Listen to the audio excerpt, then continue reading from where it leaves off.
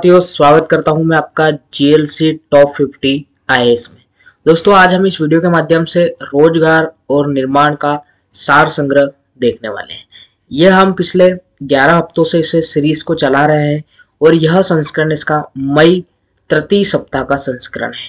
आइए इसमें खबरें हैं जो हम देखने वाले हैं कि नीति आयोग के नए उपाध्यक्ष बने हैं। प्रधानमंत्री नरेंद्र मोदी जी को भी अवार्ड मिला है, लता मंगेशकर अवार्ड और अन्य खबरें हैं, वो आप इस संस्करण में जानने की कोशिश करेंगे।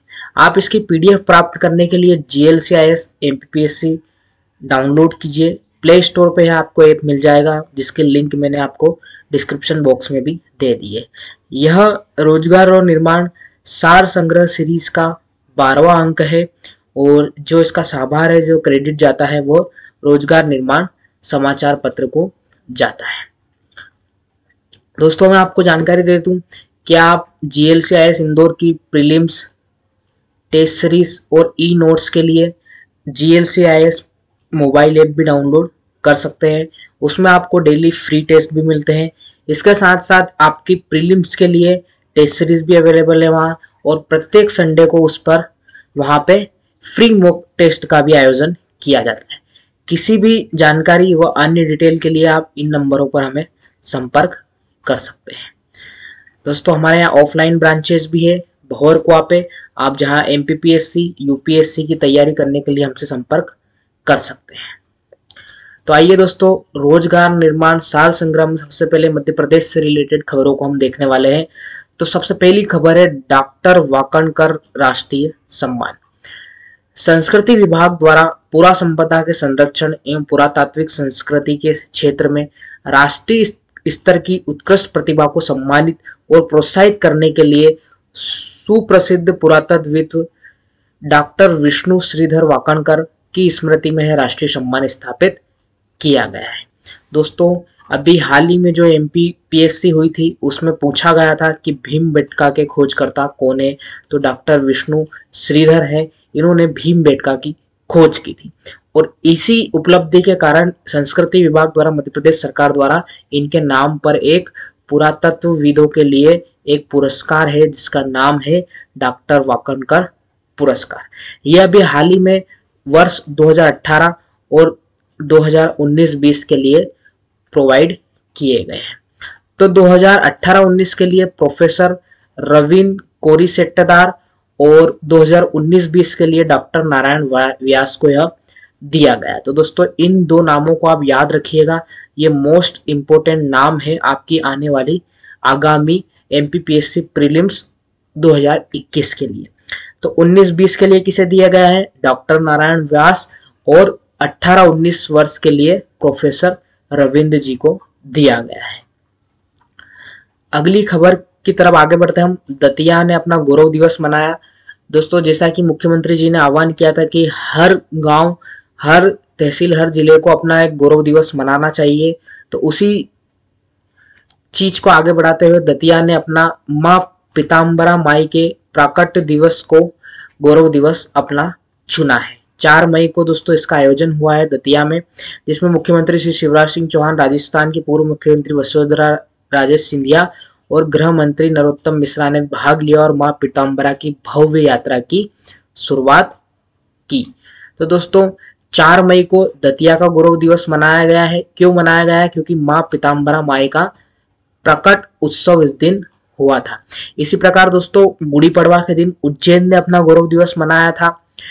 माखनलाल चतुर्वेदी जयंती के दिन माखन नगर जो पुराना नाम जिसका बाबई था, जिसका हाल ही मध्य प्रदेश सरकार द्वारा होशंगाबाद का नाम नर्मदापुरम और बाबई का नाम माखन नगर किया गया। तो माखन नगर ने माखनलाल चतुर्वेदी की जयंती के दिन अपना गुरु दिवस मनाया था। इसी प्रकार मैं आपको बता दूँ कि एक जून को भोपाल अपना गौरव दिवस मनाएगा, क्योंकि एक जून उन्नीस को भारत में भोपाल का विलय हुआ था। आगे बढ़ते हैं दोस्तों। एमपी स्टार्टअप नीति दोस्तों, हाल ही में आपको पता है कि मध्य प्रदेश ऐसा पहला राज्य है जो स्टार्टअप नीति लागू की है। आत्मनिर्भर भारत और आत्मनिर्भर मध्य प्रदेश की उद्देश्यों की पूर्ति के दृष्टिगत मध्य प्रदेश स्टार्टअप नीति का कार्यान्वयन योजना 2022 लागू की गई है, जिसे प्रधानमंत्री नरेंद्र मोदी ने 13 मई को इस पॉलिसी का वर्चुअल शुभारंभ किया और स्टार्टअप नीति पोर्टल का भी शुभारंभ किया।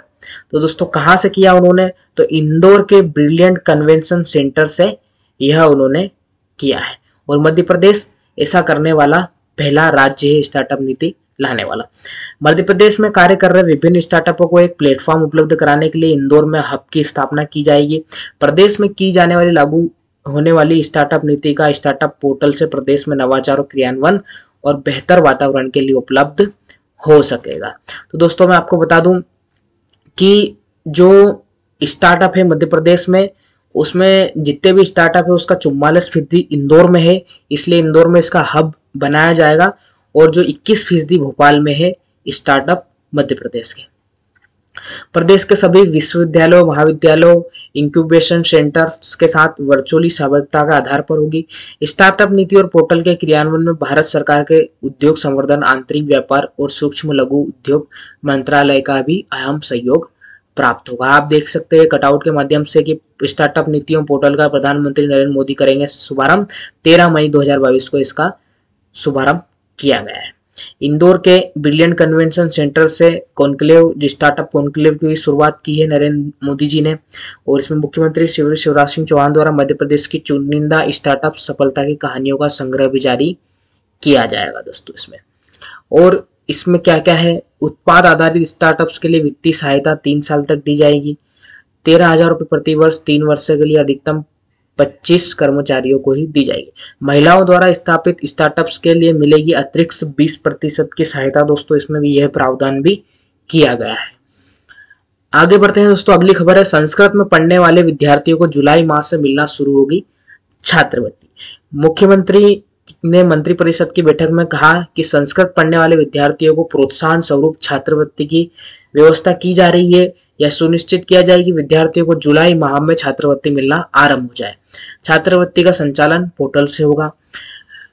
मुख्यमंत्री ने अक्षय तृतीया के पावन पर पर परशुराम जयंती पर वह, दोस्तों, अक्षय तृतीया परशुराम जयंती एक ही दिन थी।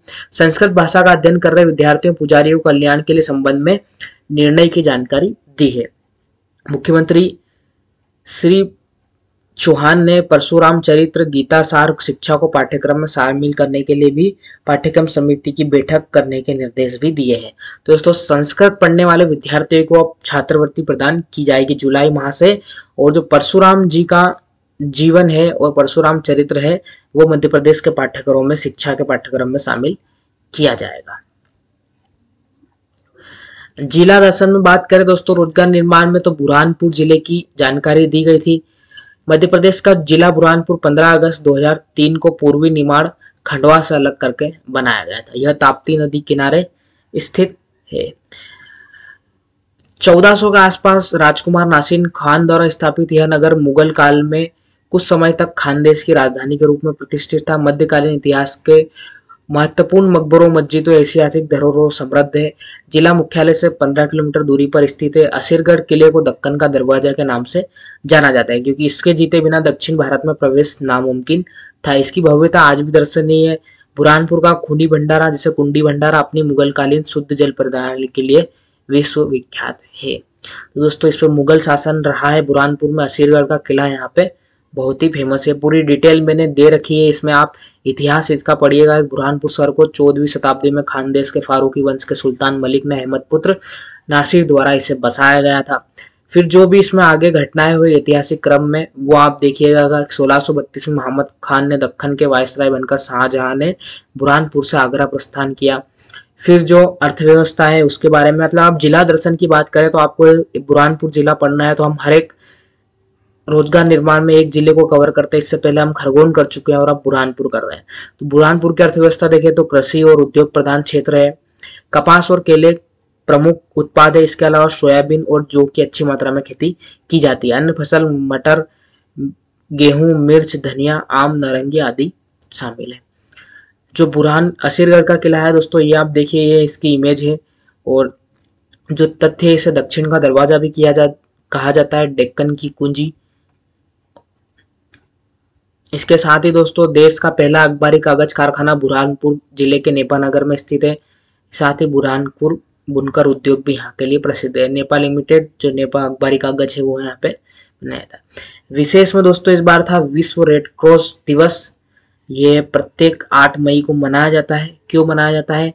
कि रेड क्रॉस अभियान को जन्म देने वाले महान मानवता प्रेमी जीन हेनरी ड्यूरेंट का जन्म 8 मई अठारह सौ अट्ठाईस को हुआ था। इसलिए उनके जन्म दिवस पर 8 मई को विश्व रेड क्रॉस दिवस पूरे विश्व में मनाया जाता है। विश्व रेड क्रॉस दिवस अंतर्राष्ट्रीय सेवक स्वयं सेवक दिवस यानी वॉलेंटियर दिवस के रूप में भी जाना जाता है। तो आप ये ध्यान रखिएगा कि रेड क्रॉस दिवस 8 मई को मनाया जाता है। खेल में खबरें देखें दोस्तों तो आईसीसी ने अपनी वार्षिक रैंकिंग जारू जारी की है, जिसमें टी ट्वेंटी टेस्ट और ओडीआई रैंकिंग जारी की है। तो टी ट्वेंटी रैंकिंग की बात करें, दोस्तों तो भारत प्रथम स्थान पर है, उसके बाद इंग्लैंड, पाकिस्तान, दक्षिण अफ्रीका और फिर ऑस्ट्रेलिया है। भारत की रैंकिंग दोस्तों, आपके लिए इंपॉर्टेंट हो जाती है, क्योंकि भारत हमारा प्यारा देश है।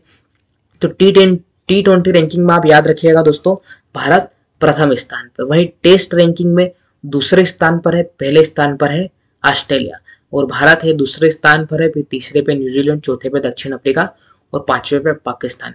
वही वनडे रैंकिंग में दोस्तों, थोड़ी स्थिति हमारी अच्छी नहीं है, भारत चौथे स्थान पर है। पहले पे है न्यूजीलैंड, दूसरे पे इंग्लैंड, तीसरे पे ऑस्ट्रेलिया, चौथे पे भारत और पांचवे पे पाकिस्तान है। तो आप ये रैंकिंग ध्यान रखिएगा, खासकर टी ट्वेंटी की, क्योंकि भारत उसमें प्रथम स्थान पर है। तो यहाँ से आप लोग उससे क्वेश्चन बन सकते हैं। हर टेस्ट में दोस्तों दूसरे स्थान पर और वनडे में हम चौथे स्थान पर हैं। ला लीग जो तो ही यह एक स्पेनिश फुटबॉल लीग है। इस वर्ष यह खिताब स्पेन के दिग्गज फुटबॉल क्लब रियल मेड्रिड ने जीता है और यह रियल मेड्रिड ने पैंतीसवीं बार यह खिताब जीता है। तो आपसे यह भी पूछा जा सकता है ला लीग किस खेल से संबंधित है।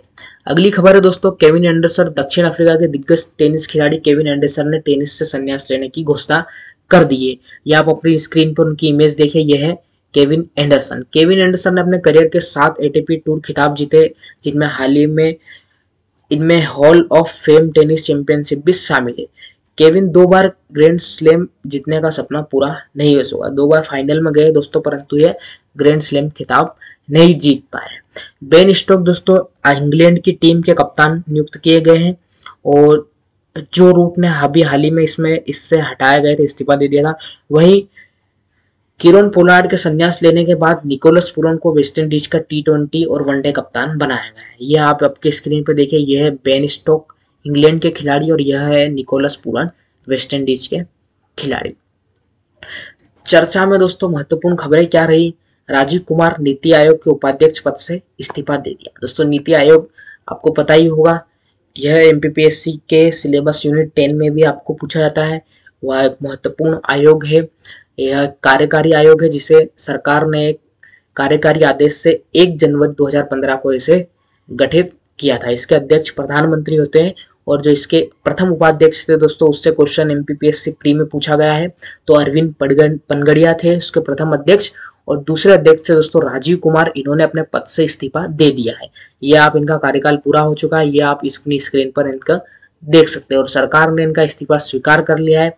प्रतिष्ठित अर्थशास्त्री राजीव कुमार ने अगस्त 2017 में नीति आयोग के उपाध्यक्ष की पद की ज़िम्मेदारी संभाली थी और उन्होंने अरविंद पटगन गया की जगह ली थी। राजीव कुमार ने कृषि, विनिवेश, इलेक्ट्रिक वाहनों पर फोकस करते हुए आयोग की नीतियों में बहुत महत्वपूर्ण, अहम भूमिका निभाई है। तो ये थे दोस्तों, अभी हम आगे और पढ़ेंगे। इन्होंने इस्तीफा दिया है तो अब अगले अध्यक्ष, अगले उपाध्यक्ष कौन होंगे नीति आयोग के? वो अगली खबर में हम पढ़ेंगे। पावेल सिंस्की ने वीडियो गेम खेलकर बनाया वर्ल्ड रिकॉर्ड पोलैंड के एक युवक पवेल संस्कर ने वीडियो गेम फुटबॉल मैनेजर सोकर खेलकर गिनीज वर्ल्ड रिकॉर्ड बनाया है। पवेल ने इस गेम को चार से सोलहवें सीज़न तक पहुँच गए हैं। इस स्टेज पर पहुँचने में उन्हें एक दिन लगे। इससे पहले रिकॉर्ड जर्मन खिलाड़ी सैम हेंडल के नाम था। हेंडल ने इस गेम को के 333 सीज़न पूरे किए थे। गिनीस वर्ल्ड रिकॉर्ड में इस रिकॉर्ड की पुष्टि की है। शांति सेठी को अमेरिका के उपराष्ट्रपति की सलाहकार नियुक्त किया गया है। दोस्तों, अमेरिका की उपराष्ट्रपति भारतीय मूल की है कमला हैरिस जी और उन्होंने अपनी भारतीय मूल की नौसेना अधिकारी शांति सेठी, उन्हें अपना कार्यकारी सचिव और रक्षा सलाहकार नियुक्त किया है। शांति सेठी एक प्रमुख अमेरिकी नौसेना लड़ाकू पोत की पहली भारतीय महिला अमेरिकी कमांडर रह चुकी है। सेठी ने दिसंबर 10 से मई 2012 तक गाइडेड मिसाइल विध्वंसक यूएसए डिकेचर की कमान संभाली थी। इंडियाना यूनिवर्सिटी में पहली महिला डीन बनी। तो अमेरिका की इंडियाना यूनिवर्सिटी में पहली महिला डीन मिल गई है। जॉन हॉपकिंस पिवाडी इंस्टीट्यूट की institute studies of associate dean Abra K Bush को इंडियाना यूनिवर्सिटी के जेकब स्कूल ऑफ़ म्यूज़िक की डीन बनाया गया है। तो आप स्क्रीन पे देखिए दोस्तों, डीन अबरा के बुश की इमेज आप यहाँ पे देख सकते हैं। विवेक लॉल, लाल को इंटरप्रन्योर लीडरशिप अवार्ड से सम्मानित किया गया है। आपकी स्क्रीन पर ये देखिए डॉक्टर विवेक लाल जी है और इन्हें इंटरप्रन्योर लीडरशिप अवार्ड से सम्मानित किया गया है। पूरी खबर पढ़िएगा, आप पीडीएफ में। अजय सूद को मुख्य वैज्ञानिक सलाहकार नियुक्त किया गया है। प्रोफेसर अजय कुमार सूद को भारत सरकार का मुख्य वैज्ञानिक सलाहकार बनाया गया है। उनकी नियुक्ति तीन साल के लिए हुई वे के विजय राघवन का स्थान लेंगे। फ़िलहाल सूद जो है प्रधानमंत्री के साइंस, टेक्नोलॉजी और इनोवेशन एडवाइजरी काउंसिलिंग के सदस्य है। अभी अपन ने पढ़ा ही है।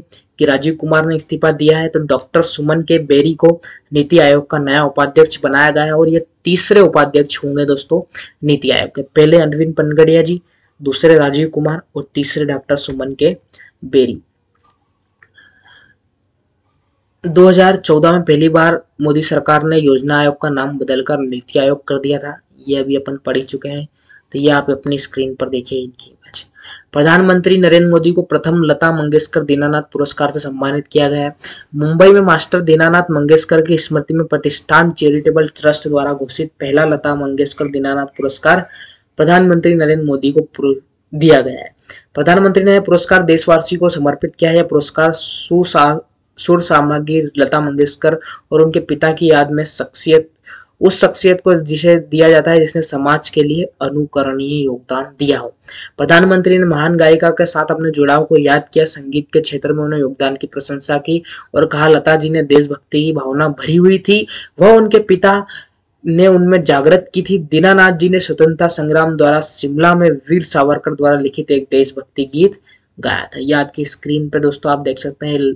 प्रधानमंत्री नरेंद्र मोदी जी, लता दीनानाथ मंगेशकर पुरस्कार लेते हुए। अर्जेंटीना में मिला दुनिया का सबसे बड़ा रेप्टर डायनासोर, दोस्तों। लैटिन अमेरिकी देश अर्जेंटीना में दुनिया के सबसे बड़े रेप्टर डायनासोर का अवशेष मिला है। यह डायनासोर सात करोड़ वर्ष पहले अर्जेंटीना की धरती पर राज करता था। रेप्टर के नुकीले नाखून और ज़बरदस्त फुर्ती से इस दुनिया के सबसे खतरनाक डायनासोर में शामिल कराते थे। अर्जेंटीना में मिला डायनासोर करीब 33 फुट लंबा और पाँच टन वजनी है, दोस्तों। इस मेगा रेप्टर की हड्डियाँ राजधानी ब्यूनस से दो किलोमीटर दूरी पर स्थित एक एल कालाफेड में मिली है। दोस्तों, गगनयान मिशन के बारे में आप भी एक खबर आई है और गगनयान मिशन आपकी यूनिट नाइन के लिए इंपोर्टेंट हो जाता है, जिस प्रकार पिछले वर्ष सोफिया से क्वेश्चन आया था, इस वर्ष गगनयान मिशन से आने के चांसेस हैं। यह देश का पहला मानव रहित अंतरिक्ष मिशन है, जिसे इसरो द्वारा अगले वर्ष लॉन्च किया जाएगा।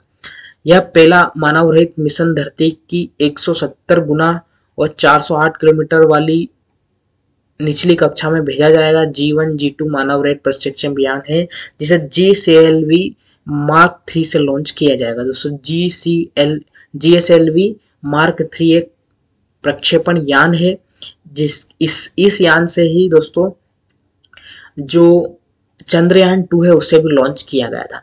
जी एस एल वी का फुल फॉर्म है दोस्तों जियो सिंक्रोनस लॉन्चिंग व्हीकल स्मृति शेष में दोस्तों बांग्लादेश के पूर्व क्रिकेटर सामीउर रहमान का निधन हो चुका है। अड़सठ साल के थे इनका निधन। ढाका में हो गया है।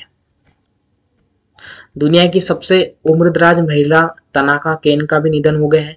119 वर्षीय थी है और चॉकलेट और सोडा पेय की शौकीन थी तनाका ने। 120 वर्ष तक उम्र जीवित रहने की उम्मीद जताई थी। इनका जन्म जो दोस्तों 2 जनवरी 1903 को हुआ था। 2019 में इन्होंने गिनीस वर्ल्ड रिकॉर्ड में इनका नाम दर्ज हुआ था। तो आप ये तनाका केन का इमेज देख सकते हैं, इन्होंने गिनीस वर्ल्ड रिकॉर्ड में नाम दर्ज किया था। दोस्तों, स्पोर्ट्स रिलेटेड कुछ क्वेश्चन दिए हैं रोज़गार निर्माण में, वो अपन सुपर फास्ट तरीके से देख लेते हैं कि लाल लीग वन किस देश के प्रोफेशनल फुटबॉल प्रतियोगिता है। तो दोस्तों, फ्रांस की है। यह ध्यान रखिएगा। इनमें से किस क्रिकेटर ने अंतर्राष्ट्रीय क्रिकेटर से संन्यास ले लिया है? तो जिससे मैंने आपको बताया था कि किरण पोलार्ड ने संन्यास लिया है, उसके बाद ही जो निकोलस पुरन है, उन्हें वेस्ट इंडीज का टी ट्वेंटी कप्तान बनाया गया है। दोस्तों, यह रोज़गार निर्माण के प्रश्नों का आप टेस्ट देने के लिए और अपने ऑल इंडिया रैंक जानने के लिए GLC I S M P P download कीजिए। वहाँ पे आप इस इन क्वेश्चंस की प्रैक्टिस आसानी से कर सकते हैं और और भी बहुत सारे फ्री टेस्ट अवेलेबल है। जैसे हमारा डेली मॉक टेस्ट होता है, वह भी आप फ्री में एक्सेस कर सकते हैं। इस वर्ष किस खिलाड़ी ने Indian Wells masters tennis tournament जीता है? तो इसका सही जवाब दोस्तों टेलर फिट्स किस देश ने टोक्यो पैरालंपिक में सबसे ज़्यादा स्वर्ण पदक जीते हैं? तो दोस्तों, अमेरिका ने जीते थे और उसके जस्ट एक कम चीन ने जीता था और भारत की रैंक 48 थी दोस्तों इसमें। किस टेनिस खिलाड़ी जस्टिन हेनिन, पूर्व टेनिस खिलाड़ी जस्टिन हेनिन किस देश के लिए खेलती है दोस्तों? तो बेल्जियम के लिए खेलती है Henin. ICC world test championship में इनमें से दो सौ या इससे अधिक विकेट लेने वाले पहले गेंदबाज हैं दोस्तों। तो इसका सही जवाब है साहिन शाहनी दोस्तों, रविचंद्रन अश्विन इसका सही जवाब है। भारत के खिलाड़ी हैं आईसीसी वर्ल्ड टेस्ट चैंपियन में सौ या इससे अधिक विकेट लेने वाले पहले गेंदबाज है। इनमें से किस भारतीय खिलाड़ी ने अब तक ICC player of the award नहीं जीता है? तो इसका सही जवाब दोस्तों जसप्रीत बुमराह। श्रेयस अय्यर भी जुट चुके हैं दोस्तों भुवनेश्वर कुमार और ऋषभ पंत। पहले ऐसे खिलाड़ी थे दोस्तों जिन्होंने जैसे ICC player of the month पहला ICC player of the month जीता था। जिस हाल ही में आईसीसी ने घोषणा की थी पिछले लास्ट ईयर कि वो मंथली एक प्लेयर को ICC player of the month घोषित करेगी और ऐसा जब उन्होंने घोषित किया था, जो फ़र्स्ट मंथ था दोस्तों, उसमें ऋषभ पंत को यह अवार्ड मिला था।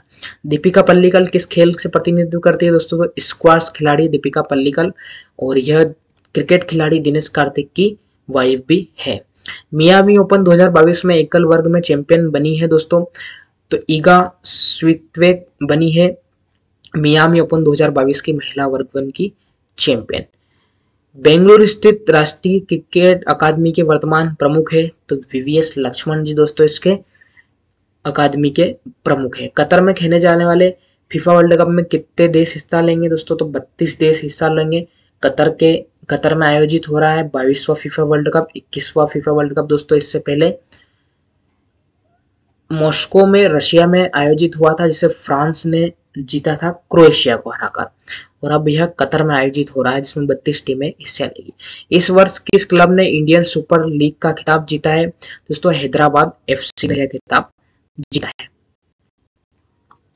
किस देश ने सबसे ज़्यादा बार वर्ल्ड रग्बी सेवंस का सीरीज़ जीती है दोस्तों तो न्यूजीलैंड ने जीती है। इंडियन प्रीमियर लीग आईपीएल का पहला सत्र किस वर्ष खेला गया था दोस्तों तो वर्ष 2008 में पहला सत्र खेला गया था और यह राजस्थान रॉयल्स ने दोस्तों जीता था। उबेर कप किस खेल की एक वैश्विक प्रतियोगिता है, दोस्तों बैडमिंटन की है और बैडमिंटन की एक फ़ेमस प्रतियोगिता अभी हाल ही में न्यूज़ में रही है थॉमस कप, जिसे भारत ने जीता है दोस्तों। चौदह बार की चैंपियन इंडोनेशिया को तीन ज़ीरो से हराकर भारत ने पहली बार थॉमस कप में इस, जो है वो अपना पहली बार स्वर्ण पदक जीता है। और दोस्तों, थॉमस कप का आयोजन बैंकॉक, थाईलैंड में हुआ था। इनमें से कित गेंदबाज ने टेस्ट क्रिकेट में सबसे ज़्यादा दोहरा शतक लगाया है दोस्तों तो नॉर्थन एस्टल ने सबसे ज़्यादा टेस्ट क्रिकेट में दोहरा शतक लगाया है। वर्ष 2021 में पेरिस मास्टर्स टूर्नामेंट पुरुष एकल चैंपियनशिप बने हैं दोस्तों। तो नोवाक जोकोविच सर्बिया के दिग्गज टेनिस स्टार खिलाड़ी हैं दोस्तों। उन्होंने पेरिस मास्टर्स टूर्नामेंट का खिताब जीता है। इस वर्ष कौन सा देश शतरंज ओलंपियाड की मेजबानी करेगा दोस्तों? तो भारत इस शतरंज ओलंपियाड की मेजबानी करेगा। किस टेनिस खिलाड़ी ने सबसे ज़्यादा बार सिनाटी मास्टर्स टेनिस टूर्नामेंट जीता है दोस्तों? तो रोजर फेडरर है। स्विट्जरलैंड के टेनिस खिलाड़ी इन्होंने यह खिताब सबसे ज़्यादा बार जीता है। इनमें से कौन सा खेल कॉमनवेल्थ गेम 2022 में शामिल नहीं है? तो दोस्तों, तीरंदाजी और कुश्ती, तीरंदाजी दोस्तों, तीरंदाजी इस वर्ष शामिल नहीं किया। आप मेरे को बताएँगे कमेंट कर में कि कॉमनवेल्थ गेम 2022 का आयोजन किस देश में हो रहा है? ऑस्ट्रेलिया अंतरराष्ट्रीय फुटबॉल में किस खिलाड़ी ने सबसे ज़्यादा गोल किए हैं। तो क्रिस्टियानो रोनाल्डो ने सबसे ज़्यादा गोल किए हैं। सुनील छेत्री दोस्तों, भारतीय फुटबॉल टीम के कप्तान है। पंकज अडवाणी ने कितनी बार एशियन बिलियर्ड्स चैंपियनशिप जीती है दोस्तों? तो आठ बार उन्होंने एशियन बिलियर्ड्स चैंपियनशिप जीती तो बिलियर्ड खेल से संबंधित है। पंकज अडवाणी आप यह भी ध्यान रखिएगा। अबान डुप्लेंटिस एथलेटिक किस स्पर्धा के खिलाड़ी है? तो दोस्तों, यह है किस स्पर्धा के खिलाड़ी दोस्तों? पोल वाल्ट के खिलाड़ी। सीमा बिस्ला किस खेल में भारत का प्रतिनिधित्व करती है? तो कुश्ती में प्रतिनिधित्व करती है। इस वर्ष किस देश ने junior women hockey world cup अपने नाम किया है? तो दोस्तों, नीदरलैंड ने यह junior women hockey world cup अपने नाम किया है। तो आई होप दोस्तों, यह वीडियो आपको पसंद आया होगा। इससे ज़्यादा से ज़्यादा लोगों तक शेयर कीजिए चैनल को सब्सक्राइब करना ना भूले। और इस लेक्चर की पीडीएफ प्राप्त करने के लिए आप जीएस से ज़रूर डाउनलोड करें धन्यवाद दोस्तों मिलते हैं नेक्स्ट वीडियो में जय